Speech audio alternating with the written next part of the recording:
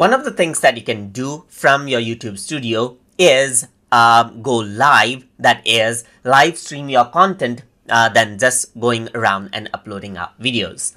But for that, you do need to have your account verified. Uh, and to do that, you need to go around under settings and then go to channel. So once you go around over here, then you can see feature eligibility is an option. And from over here under advanced uh, features, you can see that live streaming is an option right here. You are eligible for it, but what you need to do is you need to create a channel history and then you need to have a valid ID and then you need to have a video verification over here.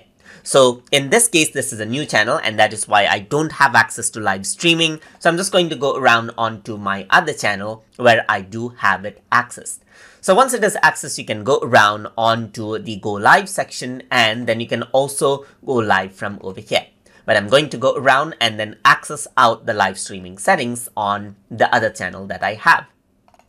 So once you go around onto the live streaming section, here you can see that it says welcome to live control room and here you are allowed to uh, um, uh, like live stream right now. That is you can press start or you can set it on a later date right here on a later time right here.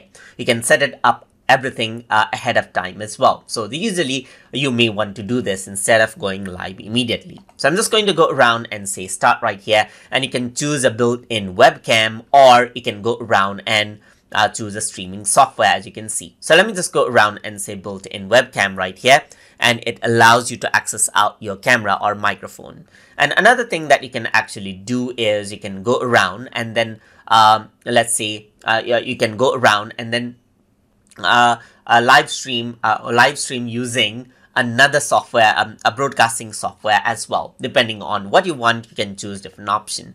So on the left hand side right here there are options right here uh, that you can use to live stream. And that is how you can enable live stream and then access out the live stream option inside of YouTube Studio